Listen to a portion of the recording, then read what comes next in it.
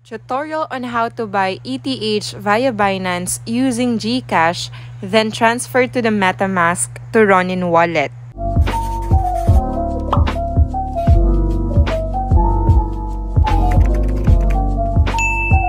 Kailangan meron na kayong account sa Binance, pwede kayong gumawa through cellphone, pwede rin naman through computer. Mabilis at easy lang naman ang paggawa ng Binance account. Make sure rin meron na kayong funds sa GCash or bank account ninyo kasi merong time ang pagbili ng ETH sa Binance. Kung okay na, tara punta na tayo sa Binance. Ganito po yung itsura ng front page ng Binance. Sa pinakataas, makikita nyo yung buy crypto. Then, yung GBP na nakikita nyo ay isang currency yon. Since nasa Pilipinas tayo, palitan natin siya ng currency ng PHP.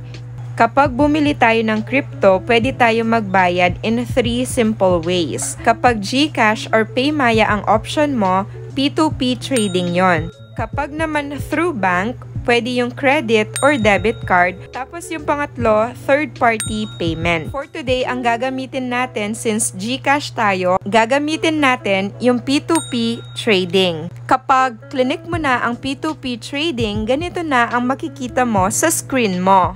Makikita mo ang mga iba't ibang mga cryptocurrencies sa pinakataas merong USDT, merong BTC, merong BNB, merong ETH, SLP at mga iba pang currency. Dahil bibili tayo ngayon, i-click nyo po yung buy and then i-click nyo yung ETH. Make sure yung currency nyo ay nasa PHP para hindi na kayo mag-convert pa.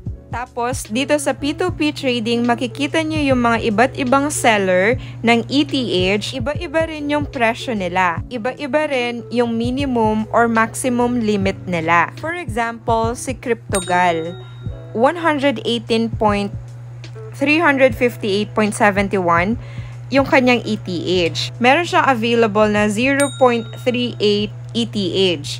Tapos yung limit niya is 20,000 pesos to 45,000 pesos. Makikita nyo rin na yung payment niya lang is Union Bank of the Philippines. Pwede naman magbayad through GCash, then bank transfer. Kung gusto mong direct GCash, maghanap ka lang ng seller, in-next mo lang hanggang makahanap ka sa payment nila ng GCash. Or, pwede mo naman siyang i-filter sa payment, then i-click mo yung GCash, lilitaw na lahat ng merchant na may GCash payment.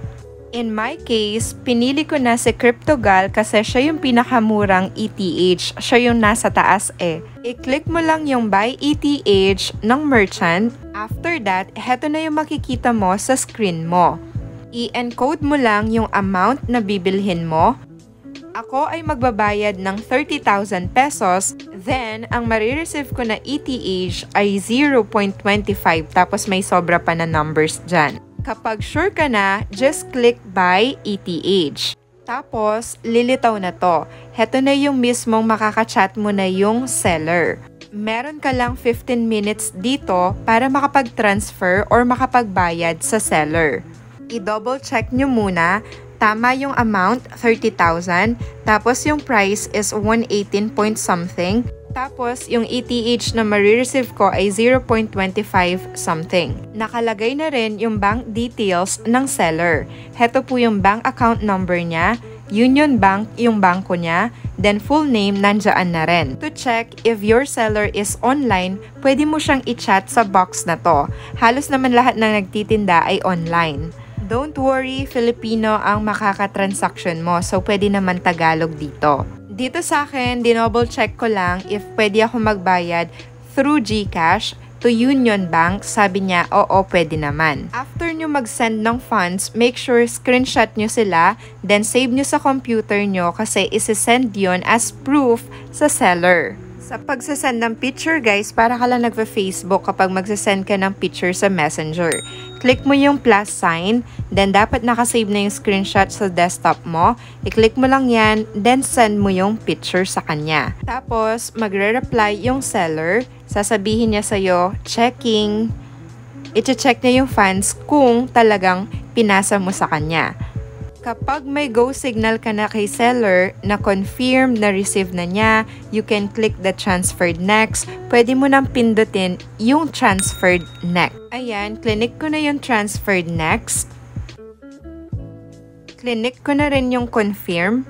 Then, madidisconnect ka na sa seller and heto na yung makikita mo sa screen mo. Makikita mo yung order completed. Tapos, yung ETH mo is now in your P2P account. I-click mo lang yung check my account, madadirect ka doon sa P2P account mo. Or, pwede mo ring pindutin yung transfer to spot kung gusto mo nang mabilisan. Ako, transfer ko na siya sa spot wallet. Kasi yun rin naman yung gagawin mo kapag ipapasa mo siya sa MetaMask to Ronin. Kailangan mo siyang i-transfer sa spot wallet. So, ito yung makikita nyo kapag transfer mo siya sa spot. Gawin mo lang is from P2P to fiat and spot. Tapos, yung coin mo is ETH. Tapos, yung balance mo, ipindot mo na yung max para lahat ng ETH mo is mapasa na sa fiat spot. Wala namang fee ang pagpapasa dito. Click nyo na yung confirm, then after a second, transaction is successful already. Makikita nyo na yung ETH nyo sa fiat and spot wallet i-click nyo lang po yung wallet, then click fiat and spot. Heto na ang fiat and spot. Dito nyo makikita yung ETH ninyo. Kompleto, walang nabawasan. Naging 0.67 yan kasi meron na akong unang transaction. Sa right side, meron mga button na buy, deposit, withdraw, trade, earn, convert. Magpapasa tayo sa MetaMask, so i-click nyo yung withdraw. Heto na po ang lilitaw nun. Withdraw crypto. Make sure yung nakaselect na coin ay ETH going sa address mo sa MetaMask. I-log in mo lang yung MetaMask extension mo and then i-copy mo yung address mo. Make sure MetaMask mo talaga yung nakalog in. So, bali, i-click mo lang yung account na yan, automatic makakopy na yung address. Balik tayo sa Binance, i-paste mo dito always, always double check kung pareho yung address na kinapi mo dito doon sa address ng MetaMask mo. Then, select network. Ang pipiliin natin yung may ERC20. Yung ERC20, yung arrival time niya is 3 minutes. Tapos, meron siyang fee na $8.32. Ang mahal naman. Hindi ko na mamamax to kasi meron ng gas fee. So, tansyahin nyo na lang guys. Kapag sure na kayo, click nyo na yung withdraw. Tapos, may warning dito. After your withdrawal is completed, full ownership of the assets will belong to the owner of the target address. Please make sure you have entered the correct address kasi walang balikan na to guys. Kayo yung nag-paste, kayo yung responsible dito. Dalawang code ang kukunin natin sa email and sa phone natin. I-click nyo lang po yung get code, then punta kayo sa email and phone ninyo. After a while, withdrawal request submitted na i-click nyo na yung complete. Tapos, makikita nyo sa pinakababa yung transaction nyo na pa-process pa lang siya. Then, abang-abang rin kayo sa MetaMask if meron na nagre-reflect doon. ba diba 3 minutes to, kaya huwag kayong magpanic kung natatagalan siya. Finally, nag-reflect na sa MetaMask ko yung 0.67 something na worth $1,000 556 point peso 78,680 pesos. Since nandito na sa ating MetaMask, i-transfer naman natin to sa ating Ronin wallet using the Ronin bridge. Mag-login tayo sa ating Axie account Make sure meron na kayong Ronin wallet ha. Then, click nyo yung bridge sa pinakataas. Ayan po yung bridge. Naka-login na rin dapat kayo sa Ronin wallet ninyo.